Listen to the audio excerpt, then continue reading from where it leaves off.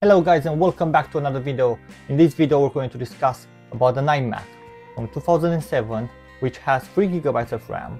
It has literally the original processor which is an Intel Core Duo 2.4 GHz. But the original hard drive was 512GB and it is still usable in today's standards. Which I'm not gonna lie, but it's more usable than I thought it would be. So, because I want to take the best performance from this Mac, I'm going to use my phone to record the screen of the Mac. I'm going to use a DJI Mimo 4, which is a, uh, a stabilizer for the phone. So you can literally get the best quality and no movement. So what can you do with this uh, with this iMac? So first of all, you can listen to Spotify. Spotify still works on it. The speakers on it are still amazing.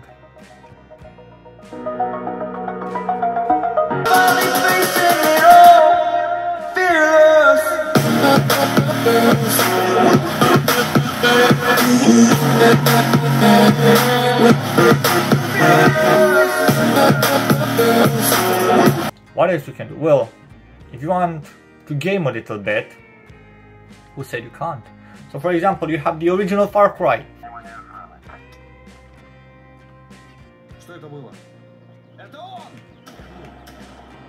Bro. Oh, I don't have any bullets. What the? How do I take this?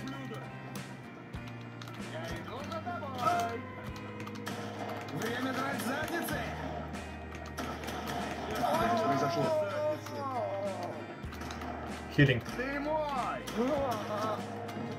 Took this one as well. So, new game. Select. Continue.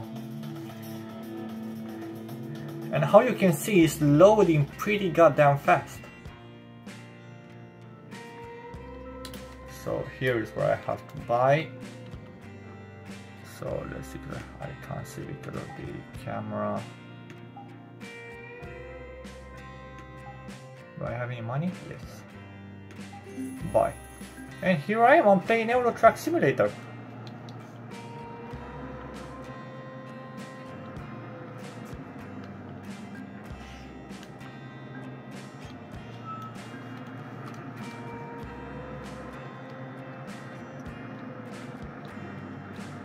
Oh.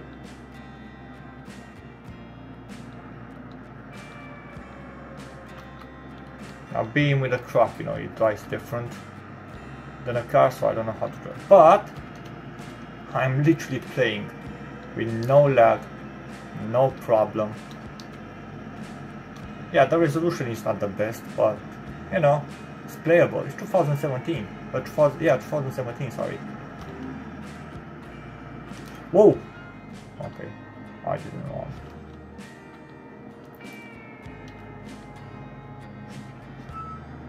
Let's try, let's press M. So here I can see a map. And here I can see a building. So let's try going, uh, building a company, sorry. Oh, almost made an accident there. But who cares? I'm going for a job.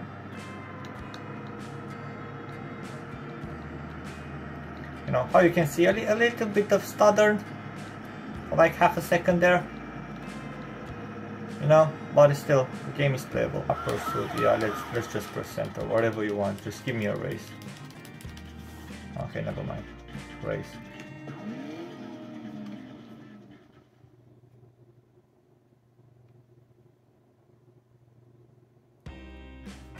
So this is the gaming section. After this we're going to go to the browsing section because the, browsing section is a little bit different but it still works perfectly. And it's going to be a shock at the end.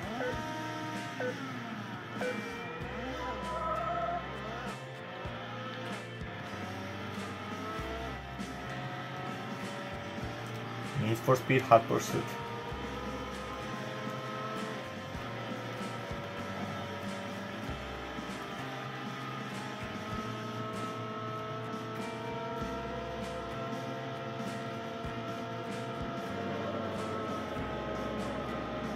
Let's go to some browsing. So in browsing we have a little bit of a situation. So we have Safari, right? With Safari at the moment, it's, it's, it's good, but it's kinda not good. So how you can see, it's taking a little bit to load. It's going to be the same, same problem with everything. So when you're going on YouTube, for example,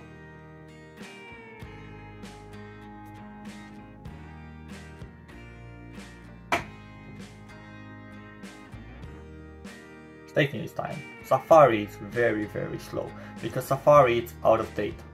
So at the moment it's kinda unusable. So that's why I don't use Safari, I literally put it down. So let's close it. Ignore. Let's completely close it.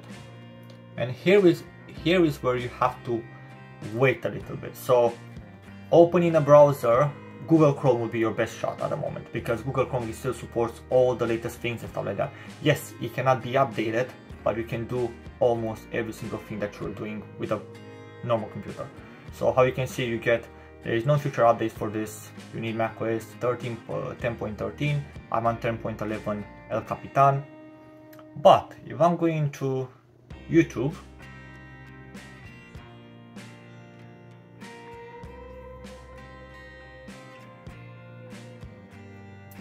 I can see. So now I'm on my channel, YouTube, right? So let's see Perl desktops, how to get it for free. It's one of my top video on the channel. Uh, but this one doesn't have the best quality, so back then I didn't record. Let's use this one.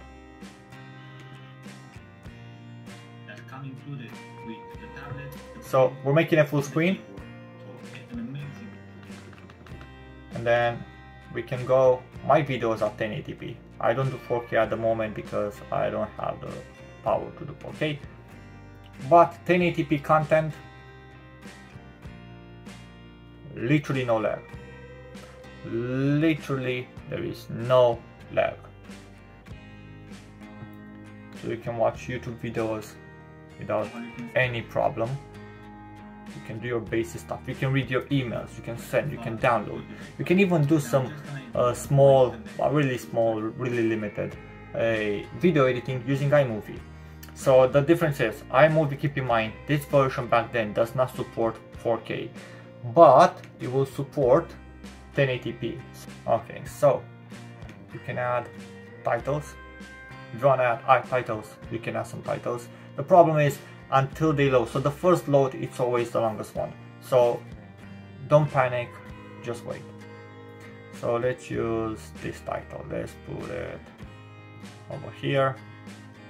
And then this one. And here you will see what I mean by adding a lot, a lot of uh, effects on it. Let's put it over here.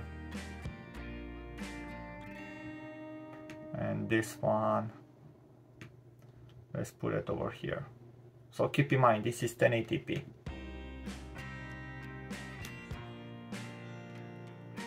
so how you can see I literally added like what three effects and then let's see hey go back. Let's see how it performs. So how you can see when the titles appear there's a little bit of lag. Right and now because I added the titles there's a lag continuously until it loads a little bit and then it goes. So it's you can still do video editing not probably not as the thing that you want you know using big transition and stuff like that but you can still do some video editing. For example let's add a transition. Simple transition over here. Let's hit play have the title. It's appearing. So it's slowing us down. It's slowing down the computer.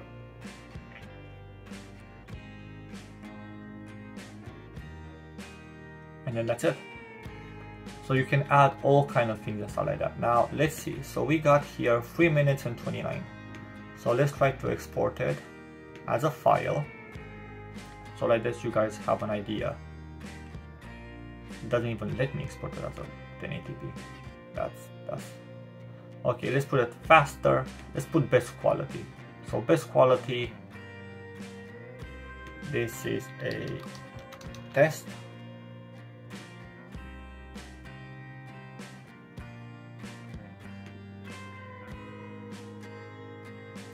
I'm going to put it to our desktop, save.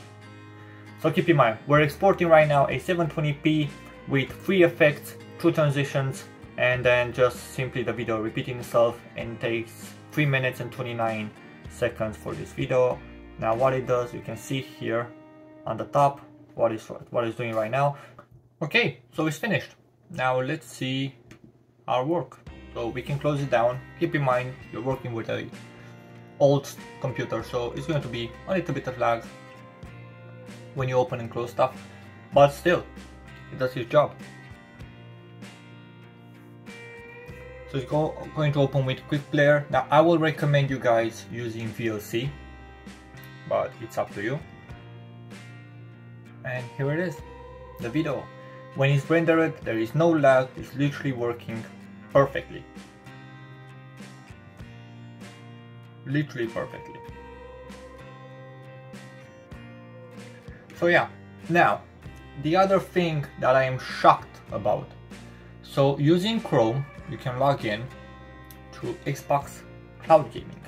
So originally you will need an Xbox 360 controller because the macOS doesn't support the Xbox One controller.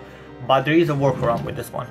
So you will need a cable, so USB-C to USB, which I have over here. I'm going to move a little bit so I can put the display and now taking an Xbox One controller. So the moment I put the cable here you will feel a vibration of the controller but if I press it doesn't work. So you have to put it and then you power up the controller and it still doesn't work. See? So th th this is the trick. The problem is you have to take it, make sure the, the controller is powered on, plug it again,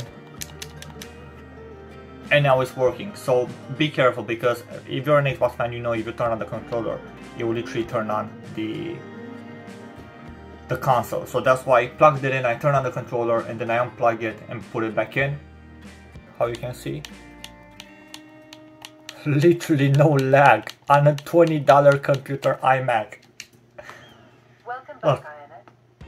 I press, put a sound down because, and I'm playing. I am literally playing Forza Horizon 5.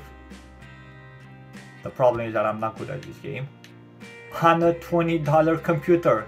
This is madness. Literally no lag. How how mad? Well, I'm how mad is this on a $20 computer so I have to to say well done to Apple and to Microsoft for optimizing the cloud service so well. But being able to play all these games on a $20 computer it's amazingly amazingly surprising especially you know 2007 made. So yeah this is it. So you can literally game on this without any problem. Stuff like that. Everything is fine, everything works fine. So if you guys enjoyed this video, please don't forget to subscribe, like, and I will see you guys in the next one. And I crash.